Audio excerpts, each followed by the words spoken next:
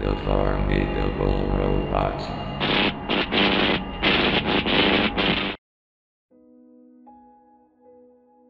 Where have I got myself into? First of all, I'm Nicholas, and I've grown up in the age of Noggin. Before Nick Jr., it was a program called Noggin. I found an unmarked VHS tape after buying a collection from a buddy of mine. The tape was from a recording VHS company I've never heard of, Telemark. One Google search and nothing.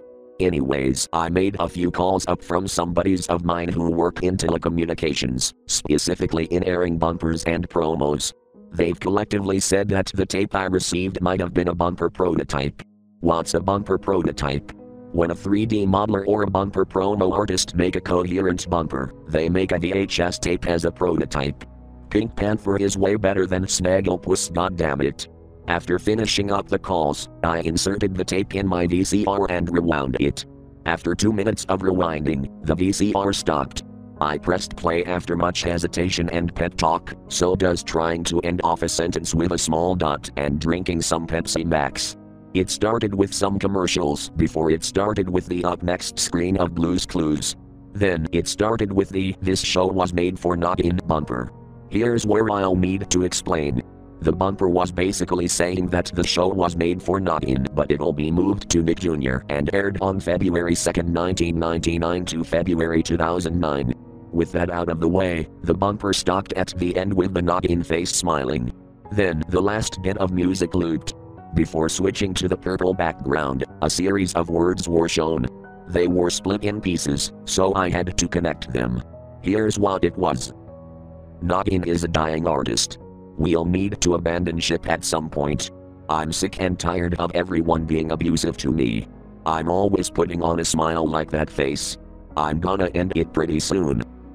Then at the end, this showed up, and my blood ran cold and my body tensed up. You'll end yourself soon enough with the stuff I've been through. I've had to ask myself if I was dreaming. Was I entirely losing it? Did I finally snap? Did my mentality snap? Did my brain rot senses snap? I staggered towards the bathroom and drank a whole cup of water before noticing the tape immediately stopping. But I needed to look back, so I rewound the tape. Then I saw the font. It looked funky. I didn't bother asking.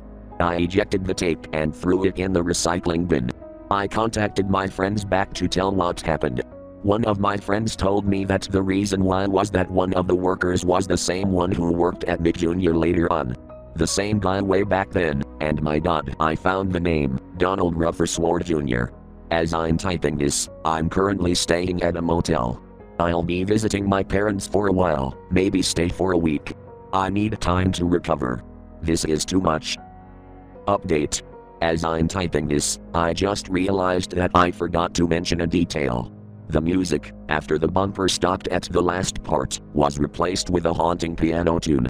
It was strangely enough, Moonlight Sonata.